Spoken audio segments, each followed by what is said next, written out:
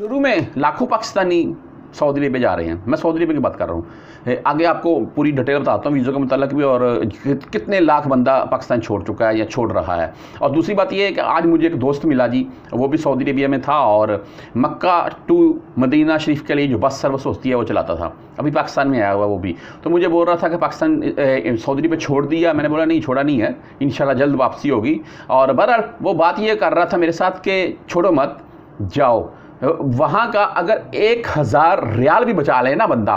यार मैंने पैंतालीस दिन काम किया, गसर सलाम में बहत्तर सौ रियाल कमाया। वल्ला झूठ वाली बात नहीं है, बहत्तर सौ रियाल मैंने कमाया पैंतालीस दिन में। आज़ाद काम कर रहा था किसी के साथ में। अच्छा बात बहरहाल, मैं, चलो, वो तो बंदे का जुगाड़ लग जाता कभी ना कभी, जुगाड़ गया, वहाँ पर देखा मैंने छः छः माह से बंदे पर कमा रहे थे, मुझसे भी ज़्यादा कमा रहे थे।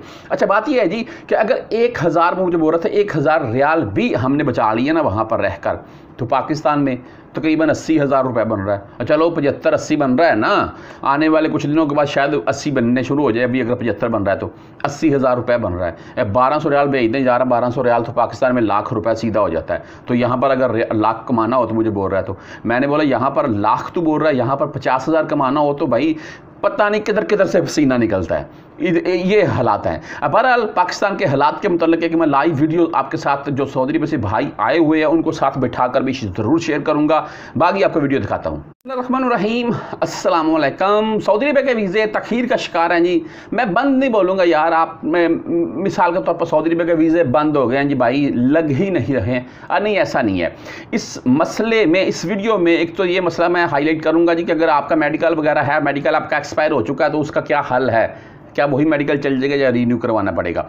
दूसरा ये कि भाई वीज़े तखीर का शिकार क्यों हो रखे हैं? यानी कि मिसाल के तौर पर मेरा खुद का दोस्त है जी, उसका वीज़ा लगने के लिए वो सारा काम हमारे थ्रू हमारे थ्रू थ्रू से मुराद ये है, कुछ उसके मसले मसाइल थे।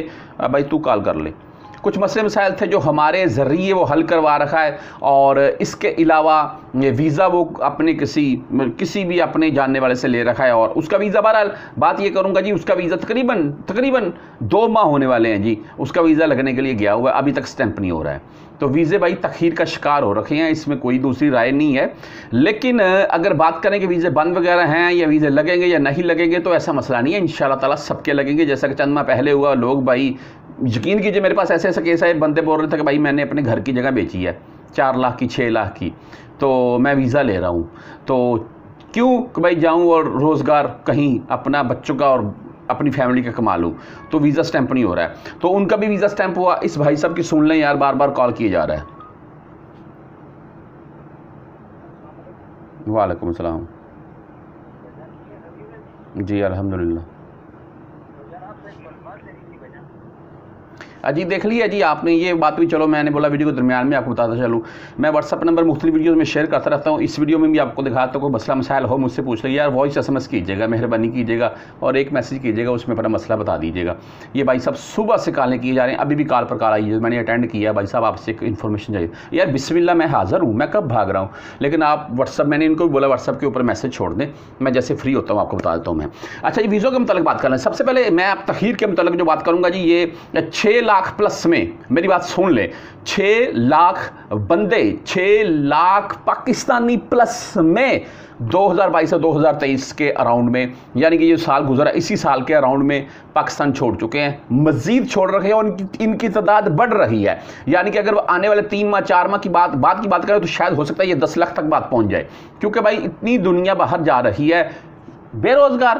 क्या करें? मिसाल के तौर पर आज मुझे एक दोस्त मिला मेरा। मैं जैसा कि आपको वीडियो को स्टार्ट में बता चुका हूँ, वो भी यही बात कर रहा था। ठीक है जी? तो बात करने का मकसद ये है कि वीज़ों का रश लगा हुआ है एम्बेसीज में कराची एम्बेसी में खासकर इस्लामाबाद एम्बेसी से वीज़ा जल्दी स्टैंप हो रहा है। जी, कुछ मेरे पास जो भाई दोस्त बता रहे हैं तो कोशिश कीजिए एजेंट को बोले, इस्लामाबाद आपका वीज़ा भेज दे, वहाँ से जल्दी स्टैंप हो जाएगा। कराची एम्बेसी में थोड़ा तखीर का शिकार हो रहा है, लेकिन वीज़ा ज़रूर इन आपका स्टैंप हो जाएगा। अभी मेडिकल के मतलब बात कर लेते हैं।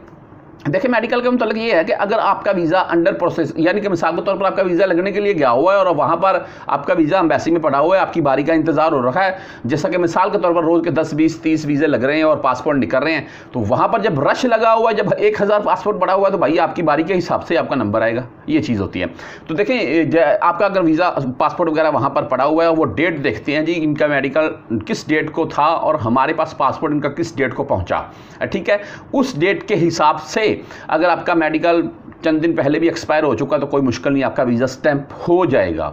हाँ अगर आपकी डेट भाई उससे पहले कुछ शो हो रही है तो फिर हो सकता है आपको वो बोलने का आप मेडिकल रीन्यू कर रहे हैं। और दूसरी बात ये, अपने जिस एजेंट के थ्रू आप वीज़ा स्टैंपिंग के लिए भेज रखे हैं, उससे इन्फॉर्मेशन लेते रहें। अगर मेडिकल खुदा न खवास्ता एक्सपायर हो रहा है तो भाई उसको बोलें कि भाई मेरा मेडिकल एक्सपायर हो रहा है, अभी क्या करना है, इसका ये भी बता दें। क्योंकि ज़ाहरी सी बात एक बंदे का काम यही है, रोज़ के दस बीस पासपोर्ट निकालता है एम्बेसी भेजता है, आते हैं तो उसको मज़ीद इसके मतलब अच्छी इन्फॉर्मेशन हो सकती है। इन्फॉर्मेशन यही है जो मैंने आपको बता दी है। आपको सिर्फ़ बात बताने का मकसद ये था कि ज़ाहिर सी बात आप उस बंदे को पैसे दे रहे हैं, उसके थ्रू वीज़ा स्टैंप करवा रहे हैं तो उसका भी सर खा लें कुछ।